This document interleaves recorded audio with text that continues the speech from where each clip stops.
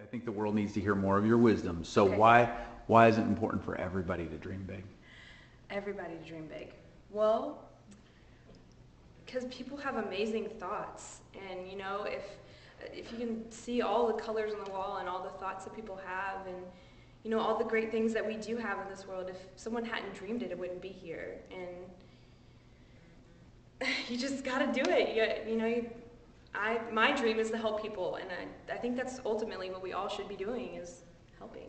So I, I don't know if that's. that works. That's awesome. Thanks for sharing your dream. Yeah. All right.